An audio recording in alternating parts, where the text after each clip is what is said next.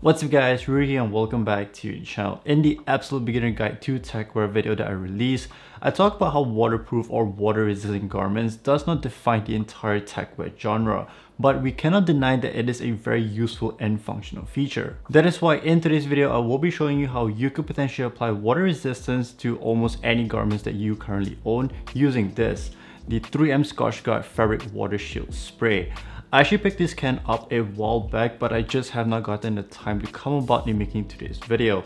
Therefore, I am really excited and I will be testing this out using some of my pre-existing garments and just to see how the effectiveness is and I will kind of document the entire process from start to finish. But before we continue further into today's video, it would be very, very much appreciated if you could go ahead and hit the subscribe button down below if you are new to the channel or just haven't been subscribed as it really does help the channel out a long way.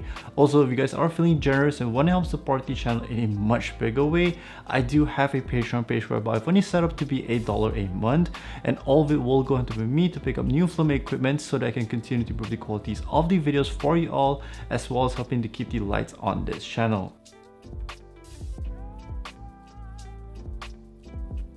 Firstly, let's go through what this spray application is all about. It's basically Scotchgard's version of DWR which aims to apply a durable water repellent coating on a fabric. If we have paid attention in a high school science class, DWR is an application that makes the surface of the fabric to be hydrophobic, giving it that water repellent property. This is a rather cheap DIY alternative if you are looking to have some of your pre-existing garments to have some sort of water protection without having to go out and buy a new piece just because you want that functionality. Now personally for me, I will only be applying this application to kind of my outerwears or heavier pieces that I will kind of wash less because with every DWR coating out there, it will kind of diminish its effectiveness after each and every wash. Therefore, over time, you will have to kind of reapply it just to maintain its effectiveness. Now, disclaimer, if you are interested in trying this out on your own, do this at your own risk as different fabrics may react differently with the spray. So do try to see if it's possible to test it out a little bit before going all in. Also, personally for me, I won't be trying this on any of my pre-existing garments that are already water repellent as this is kind of more catered towards pieces that do not have any treatment done to it beforehand.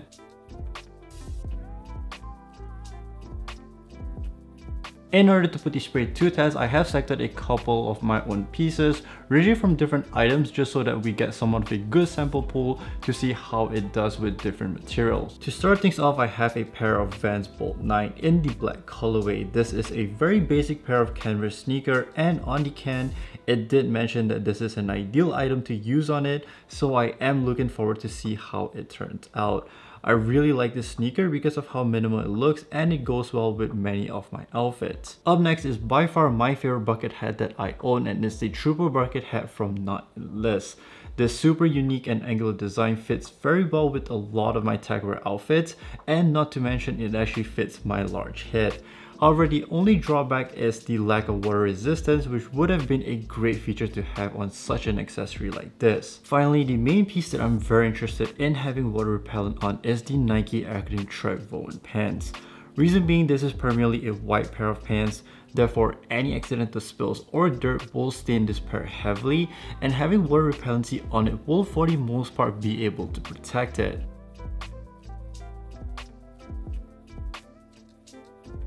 Since this is the first time that I'm trying out this water repellent spray, I decided to try it on a less important piece just to see how it works or what are some of the potential side effects that it may carry. As on the can, it did mention that it may give the fabric a darker tone of color after application and I've also read on some reviews that claims that it will leave some dark spots or unevenness on the fabric. Hence, I decided to try it on a pair of pretty old Uniqlo shorts that I've owned for a couple of years now, so even if this get ruined, I don't feel too bad being that I mainly use it just to run my daily errands. Because we are applying a spray substance, it's very important that our garments are clean. If there are any dust or dirt on them, it could potentially result in uneven coating or worse yet, the spray might not even stick onto the garment. Therefore, for this pants, I have given it a good wipe down using a damp piece of cloth and allowed it to fully dry. Up next, I proceed with the spraying process. Now do note a single can is estimated to cater up to 5 jackets, but they did not specify as to how many coatings it will be. However, in my case, I am planning to apply around two to three coatings per piece, which spoilers alert, if you are planning to apply that many coating, it is kind of only able to accommodate around two and a half jackets. When spraying, always do this in an open area with plenty of ventilation. The spray does have a pretty strong odor during application and being that you will be spraying quite a bit, it's definitely not safe if you are doing this inside an enclosed area. In order to achieve an even coating, I did short bursts of sprays for about 6 inches away from the pans in a more of a sweeping motion to ensure that the spray is not centered in just one area. For this test, I decided to only spray one side of the pans just to see if it did change the tone of the color a little bit or leave uneven spots and thankfully I did not experience any of it which did give me the confidence to move towards all my other pieces.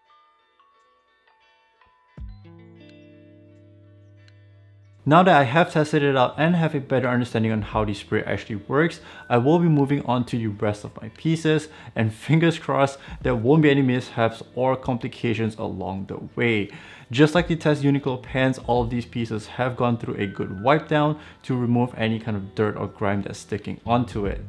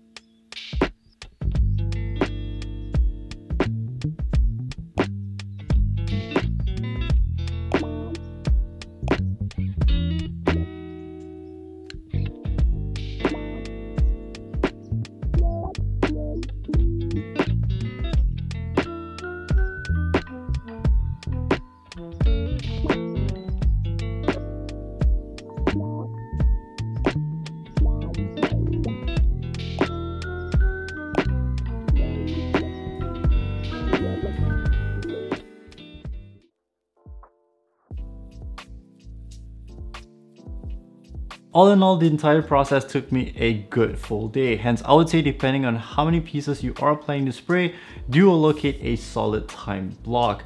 Try not to rush through the entire process and take your time to ensure that you are applying an even coating throughout the entire garment.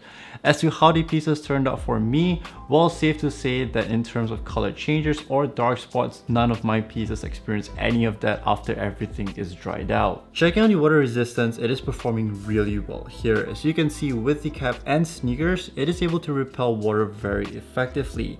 Now, do bear in mind I did apply about 3 layers of spray for each piece. It is a little bit of an overkill, but I really wanted to ensure that it has a good amount of coating on them. As for the Nike Air Conditioning pants, the water resistance is working very well here as well. For light rain and accidental splashes, I do have the confidence that it will be able to keep the pants dry.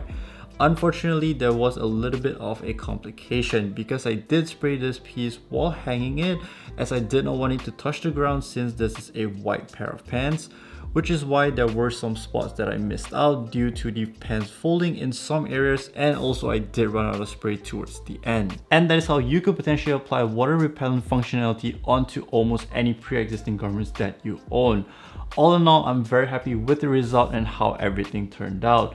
I do kind of wish I have on another of spray for the track pants, but other than that, I think the entire project was a success. The whole point of this video is not only to provide a guide on how you could potentially do it, but also to show you that it's not too difficult to have water resistance in a garment. So don't get too enticed when a garment is marketed to be water resistant. Are you interested in trying this out or better yet, what are some of the pieces that you currently own that you kind of wish have water resistance? do let me know down below in the comment section and let's talk about it. That's all I have for today's video. If you guys did enjoy watching it, please do give it a thumbs up. And once again, if you guys are new to the channel or just haven't been subscribed yet, it would really mean the world to me if you guys can go ahead and hit the subscribe button down below. It's because of these little things that it will help to kind of push the channel out to more people. Please do stay safe out there and I'll catch you all in the next one. Peace out.